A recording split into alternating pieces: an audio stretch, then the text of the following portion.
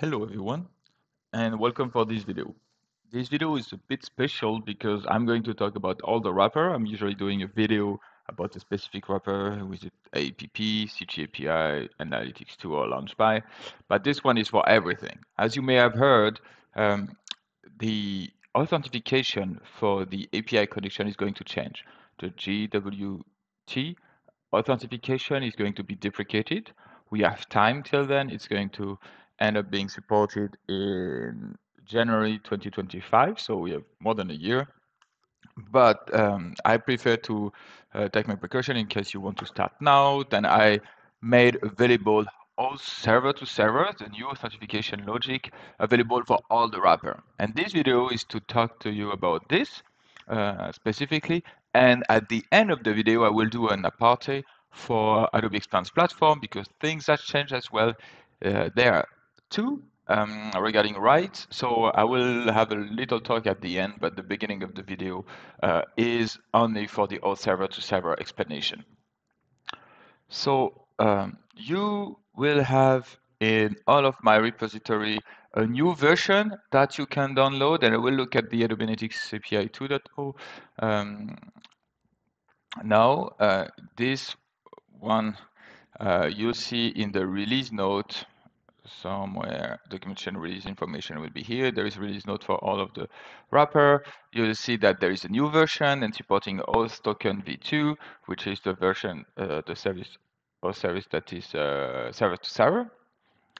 And we are going to use that now for Adobe Analytics 2, um, just uh, coming from the start. So obviously, yeah, I will start from scratch and I will need to install or update um, my library.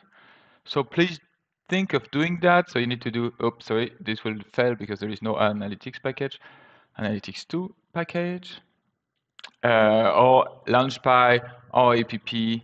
Uh, you need to do that all the time for uh, having this supported.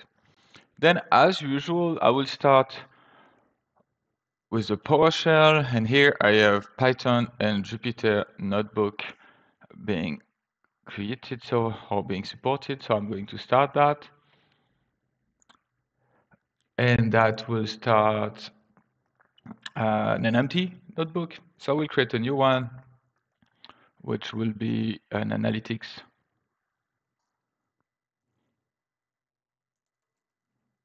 Analytics OS connector. So in order to do that, it starts exactly as you used to. It's just the little change are coming within the uh, element. So if I start, usually I'm doing importing as API 2, um, then an API 2, you have this create, and let me make it a bit bigger so you can see better. Uh, create config file. This already existed before, it still exists, but now if you look inside with uh, uh, tab, um, uh, shift tab, then you have the option and you see that there is a host type available. And this host type has two possible value, either OAuth v2 or JWT. By default, it is now OAuth v2 the previous version was JWT because I did not support I didn't know it was even going to come this OAuth v2 so now I just need to create this one and you will see that the config analytics template has been created. So I will do this is my config analytics all and if I open it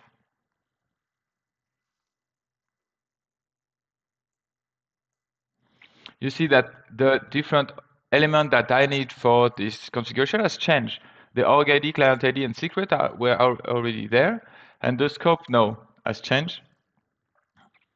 So you can start to do what we will do now is in my organization, I will create a new project.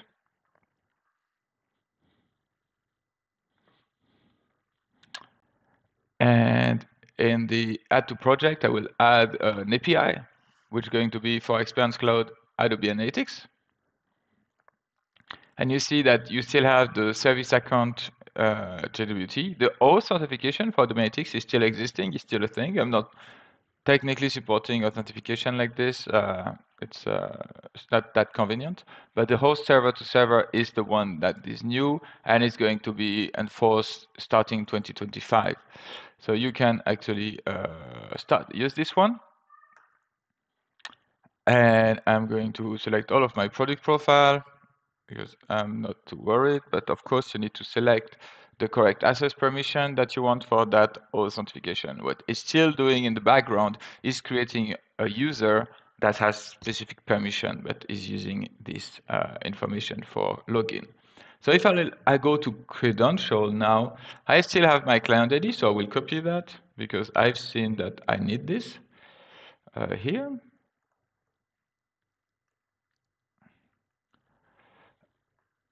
You have still the client secret, so I'm going to retrieve that client secret.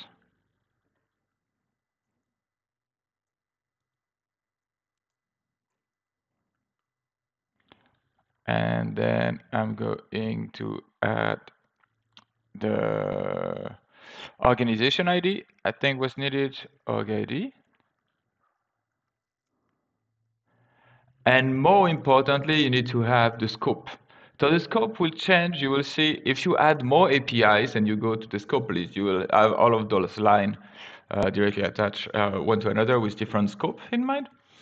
In this one, in this page, you have the whole scope combined. You can copy that directly here. So uh, it's already combined from every possible scope.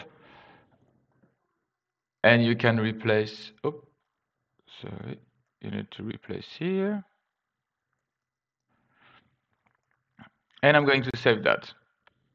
Once, once that is done, you can go on as usual by doing import config file, config analytics. There is auto completion. If I type tab, that's why it's happening. Um, and then I think that's uh, logging we need to go. So this is going to be API 2 logging capability. And then you can do the get company ID. And from that company ID, you see that AGS will be API 2 analytics company ID. One important thing, or I don't know if it's important, but one trick is that then in the connector, which is where it's transiting all of the token generation, uh, you still have the token, of course, that is available if you want to use it, but also normally you have the, uh, if I get there, connection type that is being used, and you see that now it's using the OAuth v2.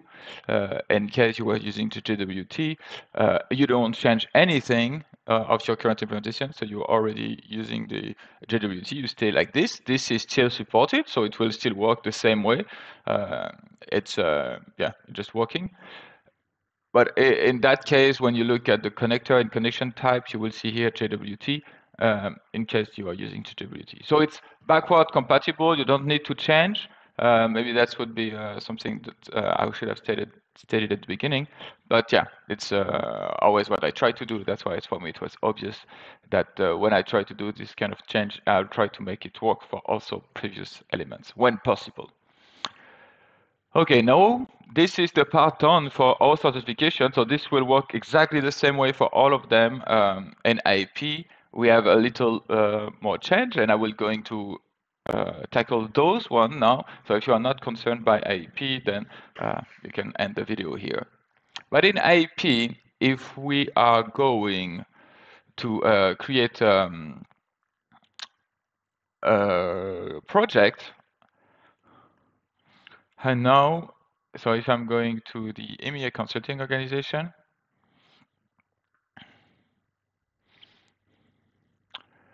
they used to be, I mean, that for all of the other API, for all of the other uh, project, you uh, always take care of the permission from the product profile. For AEP, this is not the case anymore. So the product profile I have assigned to this project for AEP do not matter. So for customer genetics, still needed. You need project profile with specific permission. For experience platform API, this does not matter. This is not where you set up the permission. If you you need to go uh, into experience platform, and in that experience platform, you have now a permission tab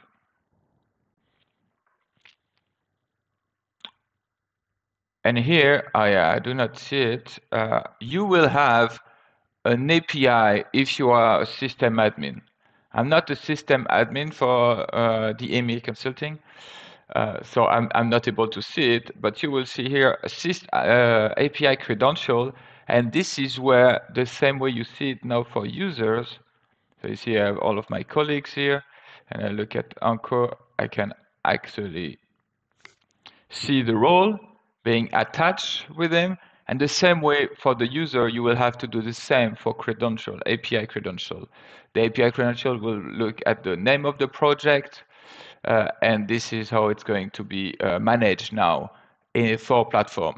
Only system admin can do this, unfortunately, so there is no other way. So if you are not a sysadmin, you are not able to manage. You need to find someone in your organization with a sysadmin right to actually handle this uh, API credential thing in platform. Uh, I wish I could be, I, am able to show you with other client, but this is not the purpose to show you client account. So uh, I cannot show you here in the EMEA consulting, but this is uh, here going to look at a, a, separate tab that is going to be API credential here. Um, so mind this when you create an API because then you will create that in the project, assign product profile for AEP, and it will not work. No wonders, you need to actually know. Change that here. Sorry for the for this. Okay, uh, this is the uh, end of the video. I hope it was clear enough, and uh, have fun now coding, and uh, uh, talk to you later.